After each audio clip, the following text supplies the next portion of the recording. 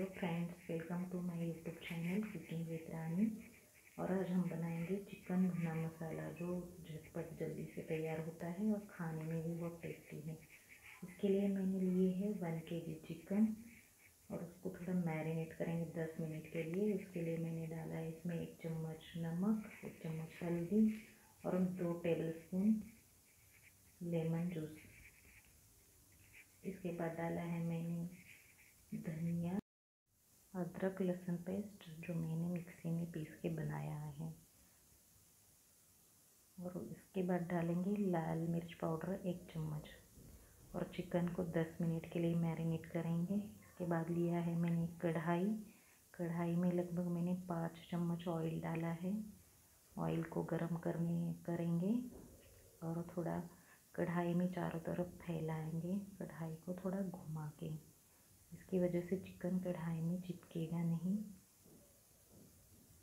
इसके बाद डाला है मैंने ज़ीरा तीन चार लौंग, तेज पत्ते,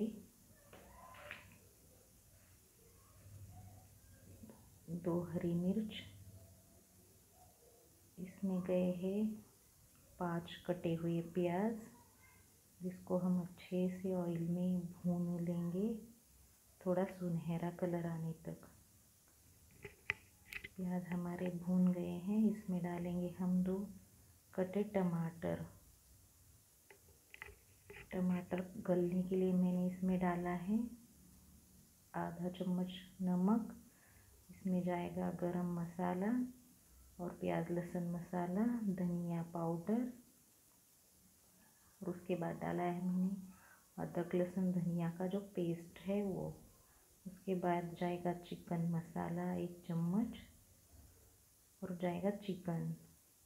जो चिकन हमने मैरिनेट किया था, उसमें जो पानी छोड़ा है, वो इस स्टेज पे हमको डालना नहीं है। पानी डालेंगे तो टेस्ट अच्छा नहीं आएगा। चिकन को हम अच्छे से मिक्स करेंगे और दस मिनट के लिए पकाएँगे, थोड़ा ढक के। ढकने के बाद थोड़ा सा इसमें 150 एम मैंने गुनगुना पानी डाला हुआ है। इसको फिर ढक के पकाएँगे 10 मिनट के लिए और रेडी है हमारा चिकन मसाला। इसमें डालेंगे हम लगभग 50 ग्राम फेटा हुआ दही। दही जब डालेंगे तो इसमें हम गैस की फ्लेम लो कर देंगे क्योंकि दही फट जाता है। रेडी है हमारा चिकन मसाला। अब हम इसको सर्विंग बाउल में निकालेंगे और धनिया से सजाएँगे। आपको चिकन भुना मसाला अच्छा लगे तो प्लीज़ मेरे चैनल को लाइक शेयर एंड सब्सक्राइब कीजिए और रेसिपी ट्राई करिए। और रेसिपी कैसी बनी है, हमें कमेंट में ज़रूर बताएँ। Thank you